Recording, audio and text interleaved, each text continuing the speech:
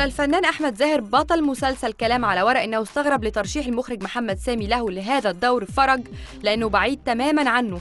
ولكن سامي استطاع أن يخرج منه شخصية فرج بشكل جيد رغم خوفه من رد فعل الجمهور بالنسبة للشخصية. وأضاف زاهر أن تعامله مع هيفاء كان رائعا وذلك لأنها تلميذة ملتزمة وجيدة جدا وهذا سبب نجاحها وكانت تحضر قبل التصوير بساعتين.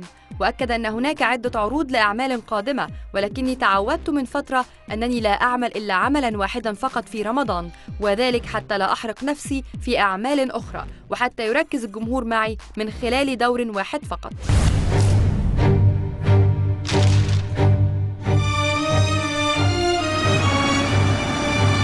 هو يعني إيه حقيقة؟ الحقيقة دي موجودة جوا كل كلمة. كلمة كلنا بنطلبها من بعض بس ما بنقولهاش. ولو قلناها ما بتتصدقش.